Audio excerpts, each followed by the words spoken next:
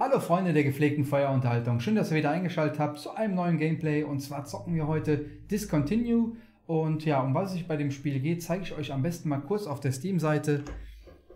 Ja, Discontinue ist ein Geschicklichkeitsgame, wo man auf einer Plattform steht und die bewegt sich fort. Ja, man hat äh, die Möglichkeit mit beiden Händen äh, Scheiben zu werfen und es erscheinen einmal rote Türme, die Laserstrahlen feuern. Es erscheinen auch äh, als Hindernisse gelbe Türme, die man abwerfen kann, die dann wieder runtergehen. Und ja, so geht es einfach immer weiter. Es gibt da verschiedene Schwierigkeitsfaktoren. Es geht leider nicht von leicht nach schwer, sondern man muss immer irgendeinen Code eingeben. Äh, ein vierstelliger Code war das, glaube ich. Und dann wird ein Level geladen und dann wird einem gesagt, ja, wie schwer oder leicht das ist. Und äh, ich bin jetzt in dem Gameplay nicht unter Schwierigkeitsfaktor 20 gekommen. Ich weiß nicht, ob es darunter auch noch irgendwas gibt. Aber 20 war okay, also konnte man spielen. Es ist aber teilweise echt nicht leicht, muss ich sagen, wenn da wirklich, ja, links, rechts, vorne, hinten noch welche erscheinen, die man abwerfen muss. Und äh, die Plattform geht ja meistens dann weiter. Ab und zu bleibt die dann mal stehen, wenn man ein paar Sachen abwerfen muss. Aber wenn die dann rundherum um einen erscheinen und die schießen auch alle, also dann wird es echt äh, kritisch und man kommt ganz schnell in die, in die Bredouille, sag ich mal. Um, äh, und da muss man die relativ alle schnell abschießen. Ja, dann gibt es noch diese, diese grünen Kreuze, um HP wieder zu generieren. Ja, es ist ein Spiel, was man einfach mal in eine Woche mal anschmeißt, 30 Minuten mal zockt und äh, ja, dann ist, dann ist es auch wieder gut, weil also ich, ich persönlich könnte es jetzt nicht irgendwie drei Stunden am Stück spielen, aber nur mal kurz eine Runde so in der Woche ist ganz okay. 6,59 Euro kostet das Ganze, finde ich auch vollkommen in Ordnung für ein Indie-Game. Und ja, ist kein schlechtes Spiel, ist auch vom Look her gefällt mir das so 80er Jahre Style, finde ich, hat das so ein bisschen was so 80er Jahre Tron Style. ja, Koop Modus wäre geil gewesen, wenn man da mit zwei Mann auf so einer Plattform steht. Upgrades wären nicht schlecht gewesen, wenn man da gewisse Upgrades hat, eventuell ein Schutzschild sich äh, dann noch äh, irgendwie kaufen kann oder weiß der Geil, da gibt es ja verschiedene Möglichkeiten, die man da einbauen könnte. Ja, aber ich würde sagen, genug geredet. Ich gehe jetzt mal rüber ins Gameplay, also viel Spaß. Okay Leute, hier sind wir bei Discontinue und ja, hier sind wir im Menü. Schauen wir uns mal kurz um. Also hier können wir unsere Level aussuchen. Hier hinter uns ist eine Highscore-Karte. Und ja, man sucht diese Level aus, indem man hier diese, diese Codes eingibt. Und hier sehen wir auch selber die Leute, die hier gespielt haben. Hier hat er 101 ausgewählt, 1337 und so weiter und so fort. Und äh, jedes Level hat einen anderen Schwierigkeitsgrad. Und ja, wir probieren es einfach mal 01. Dann schauen wir mal, was er dann dann lädt. Er lädt dann erstmal und dann zeigt er an, okay, wie schwer ist das Level jetzt hier? 25, okay, ist schon, würde ich sagen, eigentlich zu viel. Das System finde ich ein bisschen komisch. Was ist denn, wenn wir einfach 001 eingeben? Also 0001. Müsste eigentlich das erste Level sein, oder? Auch nicht wirklich. Okay. Ähm, der erste hatte 101, ne? Probieren wir das einfach mal. 101.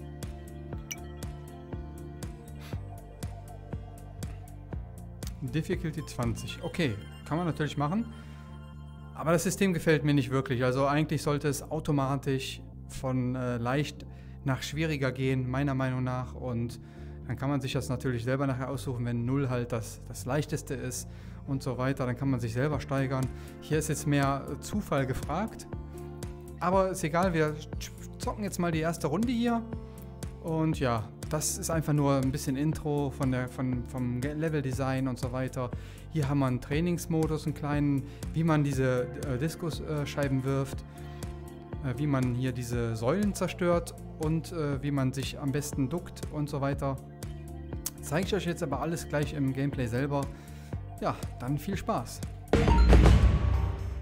So, auf dem Trigger haben wir bei den Händen jeweils können wir dann so eine Diskusscheibe holen. Okay, da kommt der erste Turm schon, den wir abschießen müssen.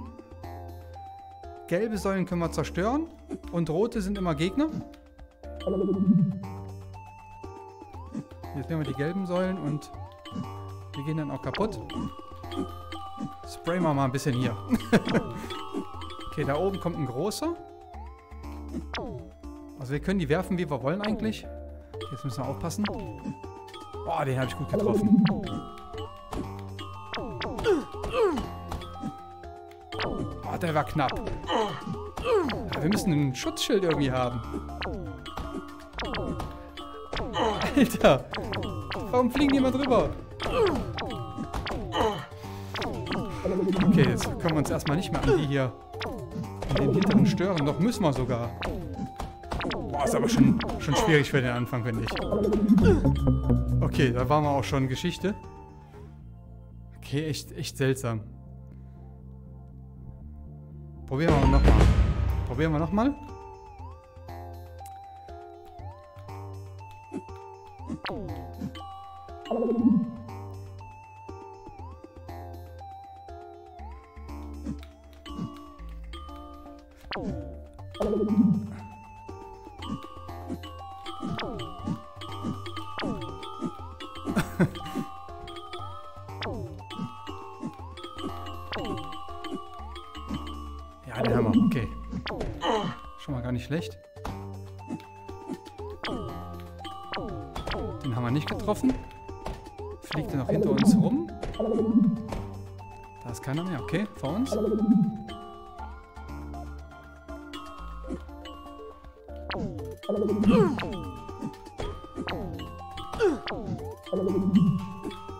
Manchmal werde ich irgendwie getroffen, obwohl ich keinen Laser gesehen habe. Okay, den können wir vielleicht, wenn wir da durchwerfen. Jawohl, haben wir gekriegt. Wo ist noch einer? Wo ist noch einer? Da. Ah. Den haben wir auch gekriegt. So, jetzt müssen wir wirklich hier gehen im Raum. Ganz schön schwierig.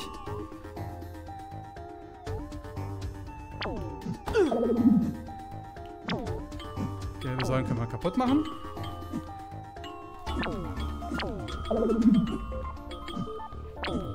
Die können wir mal unter Beschuss nehmen hier. Das müssen wir sowieso. Jawohl, der ist kaputt. Okay, jetzt müssen wir Wände zerstören, sonst haben wir hier gleich ein Riesenproblem. Okay, jetzt wird mir... Irgendwas muss ich jetzt noch kaputt machen. Dahinter ist was, ja. War cool mit dem wirklich laufen. Ach, den habe ich doch getroffen. Komm. Toll.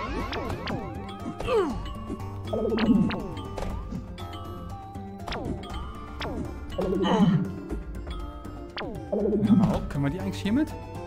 Okay. Mit der Scheibe können wir die ein bisschen ablenken, aber wenn man damit versucht abzulenken, mit dem Loch nicht. Also, ist auch realistisch gemacht.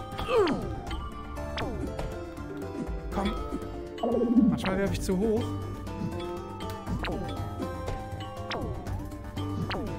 Okay. Komm, geh doch kaputt. Werfen ist gar nicht so einfach. Besonders mit links kann ich kaum irgendwas treffen. War es das oder kommt jetzt ein Endgegner oder so? Ha!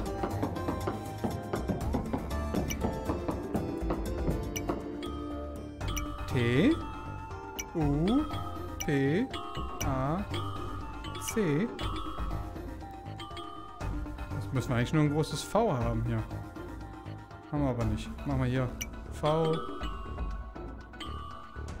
Das soll, glaube ich, ein R sein. Ja, machen wir.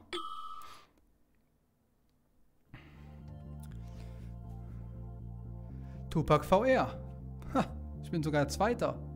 Aber lokal. Lokal ist ein bisschen komisch. Okay, probieren wir mal eine andere Nummer. 7, 7. Ne. 1017. 23, ne, ist klar. 9.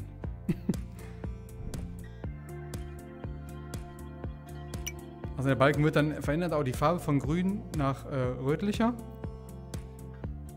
Also das, das, das Leveldesign gefällt mir, also die Levelauswahl gefällt mir gar nicht. So. 24. Ja, komm, nehmen wir. 20 haben wir gerade auch überstanden. So, jetzt müssen wir die Wand da kaputt machen, sonst kommen wir nicht durch.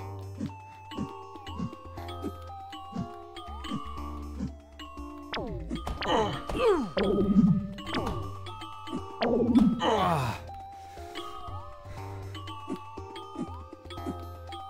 Wäre noch cool, wenn man sich ein richtiges Schild aussuchen könnte.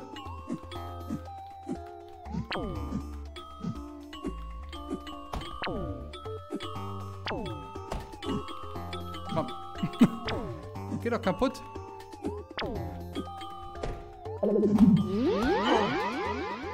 Okay. Targets 4. Müssen wir mal schauen, wo die sind. Da ist einer.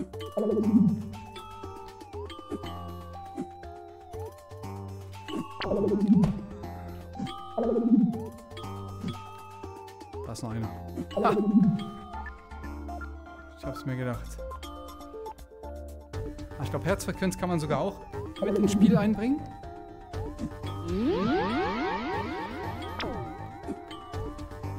Wo höre ich noch was schießen?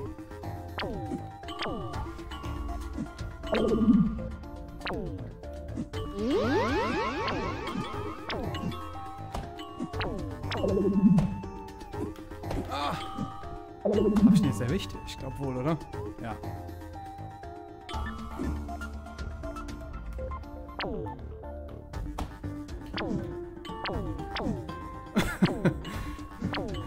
so geht irgendwie besser. Wo, wo, wo? Oh, so schnell wie die kommen, kann man gar nicht.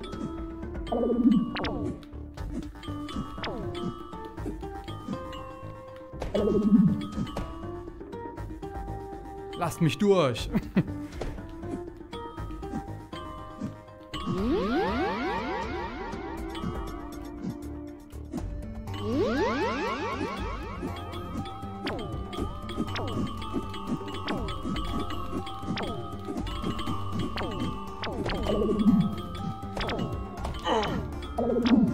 Boah.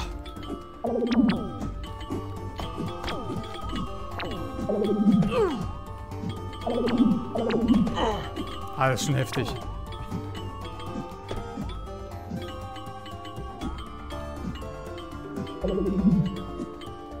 Den kriegen wir noch da. Und dann ist da noch einer hinter.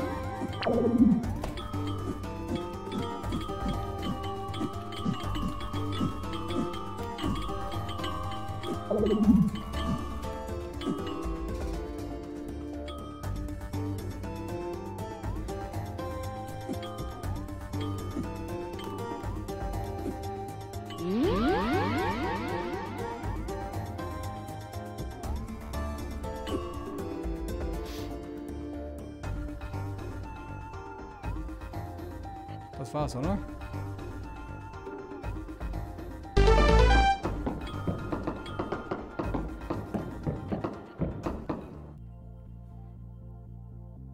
Hey!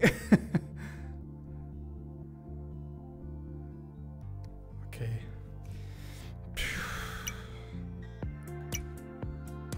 Hm.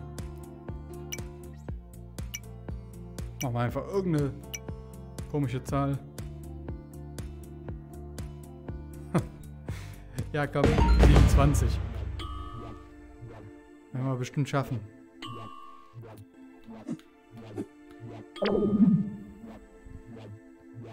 Wenn man die gut ablenkt, kann man auch die Türme kaputt machen. Dann müsste man eigentlich mal probieren, ne?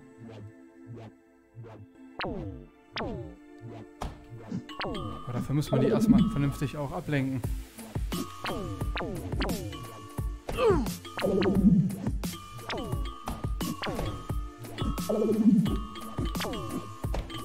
Okay, den haben wir, den haben wir geschafft.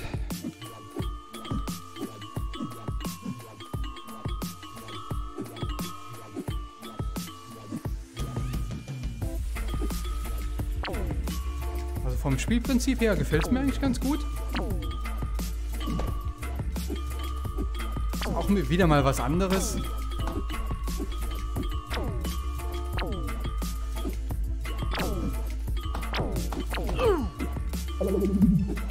Ist halt nur ein Spiel, was man einfach mal zwischendurch mal spielen kann und ja, hat halt keine Story und ich wünsche mir in VR einfach mehr Story-Games.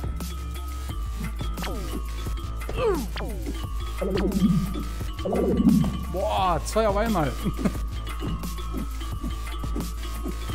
Dann machen wir mal ein paar Punkte hier.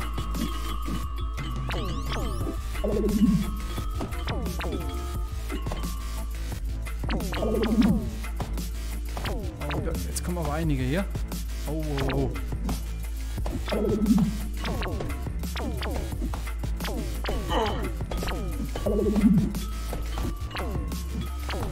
Oh Gott, mach die kaputt, mach die kaputt. okay.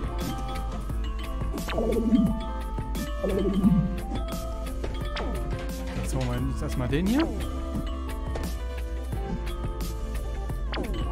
Ja. Komm, dahinter sind bestimmt auch noch Gegner. Oh, jetzt geht's auch schon weiter.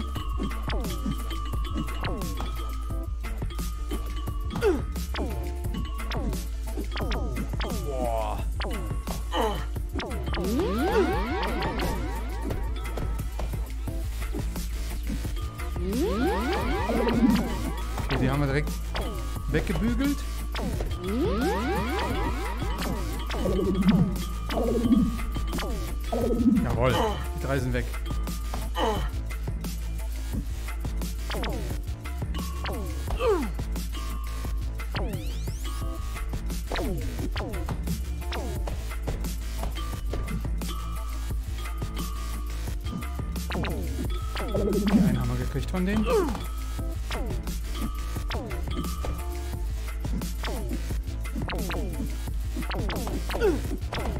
Boah, ne, den kriegen wir nicht mehr. Aber wir haben es geschafft.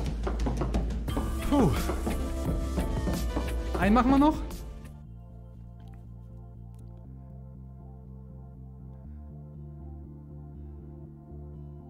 Ich bin jetzt nicht sicher. Lokal ist ja eigentlich bei mir. Also sind das wahrscheinlich irgendwelche ja, Computer, Punktzahlen generierte. Wir machen jetzt mal 1, 2, ne warte, wir müssen erstmal löschen. 1, 2, 3. Oh, wird rot. Sie auch 27, komm.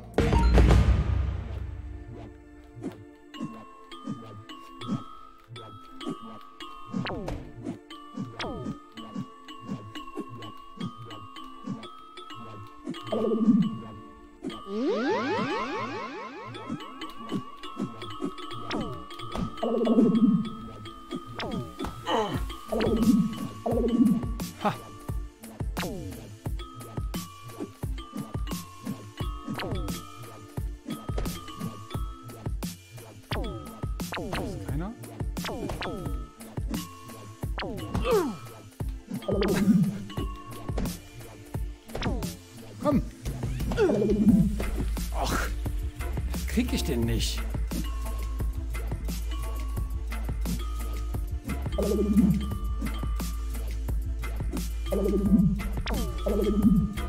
Bing, bing, bing, bing.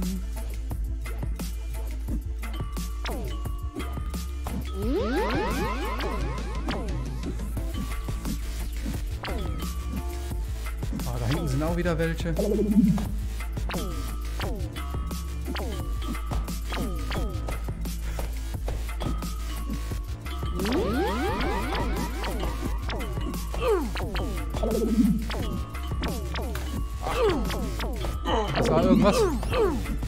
Stuhl oder so. Haut doch ab. Okay, den habe ich. Hab ich auch gekriegt. Kaputt gegangen. Ich wollte einmal, ein, eigentlich einmal noch schaffen. Mann. Komm, einen, einen müssen wir noch schaffen.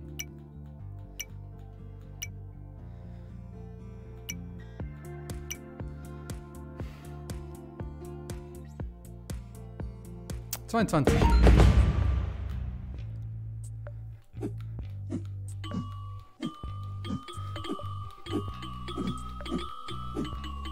Man muss natürlich nicht alle kaputt machen, aber gibt natürlich auch Punkte.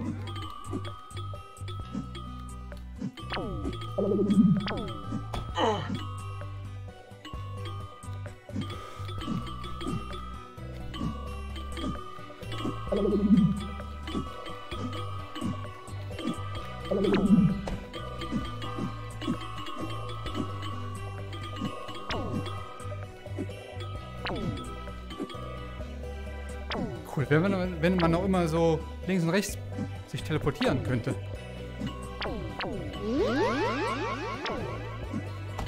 Okay, den haben wir.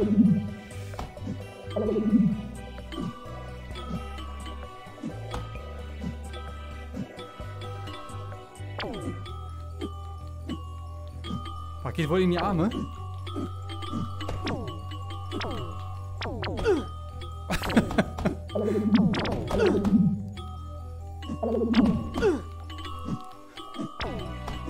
Ach, jawohl.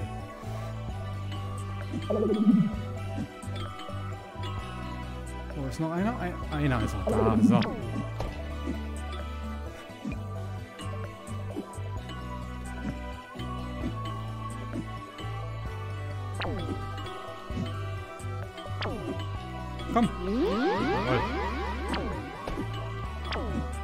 Ist immer wichtig.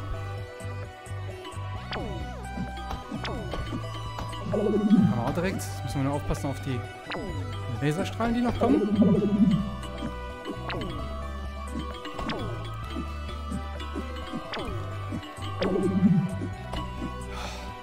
Das ist anstrengender als ich dachte.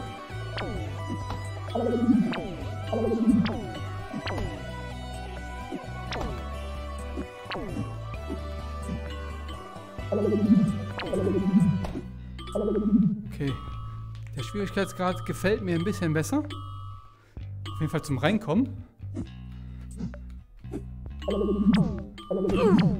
Okay, da wurde wieder erwischt. Geht in den Arm.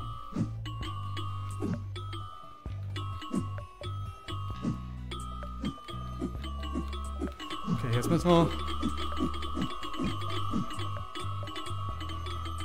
Wir machen den Weg frei. Wow!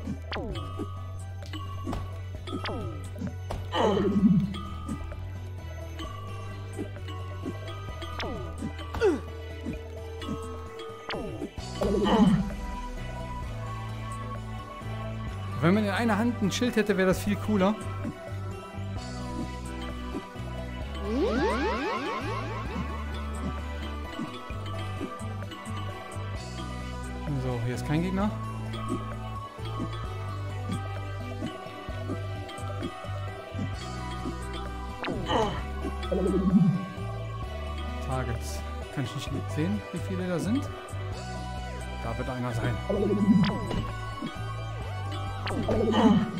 Gibt er mir Headshot, ey. Mistkerl. Nimm das.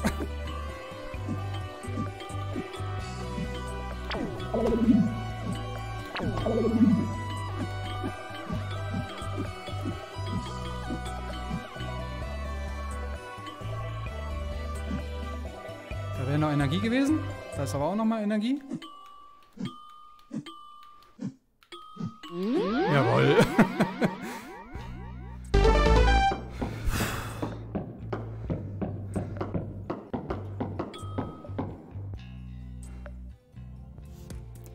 Leute, das war's, würde ich sagen. Gucken wir mal auf den Highscore. Ja, wir sind Erster geworden mit dem letzten Level. So muss es sein, beim letzten Gameplay Erster werden. Aber ich denke mal wirklich, das ist nicht hier global, sondern wirklich nur lokal. Und das, äh, ja, das werden keine wirklichen Spieler sein, die wir hier haben. Ja, kommen wir mal zum kleinen Fazit, würde ich sagen. Das können wir auch hier unter der Brille eigentlich machen. Also vom Look her gefällt mir das echt gut. Gef äh, erinnert mich so ein bisschen an 80er Jahre Computergames.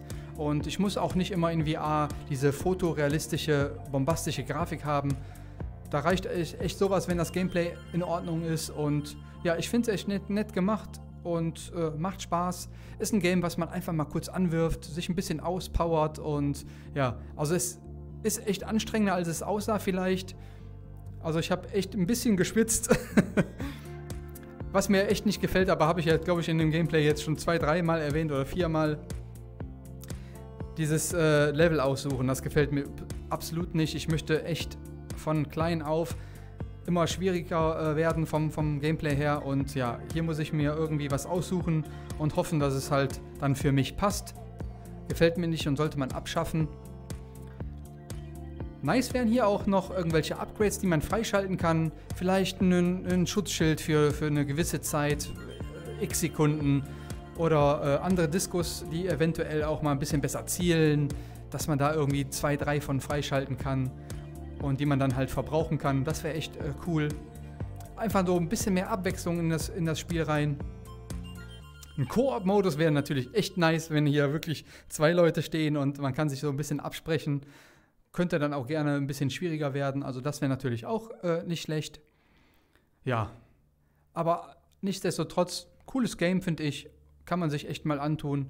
Und ja, wer so ein bisschen ja, Workout haben will und nicht unbedingt immer diese ja, Musik-Rhythmus-Spiele spielen möchte, ist hier, glaube ich, ganz gut bedient. Und ihr habt jetzt am Gameplay gesehen, um was es sich hier geht. Von daher, entweder es gefällt euch oder es gefällt euch nicht. Und äh, ja, da muss man entscheiden, kaufe ich oder kaufe ich nicht. Ja, Leute, ich würde sagen, das war es erstmal mit dem Gameplay hier oder mit dem Video hier.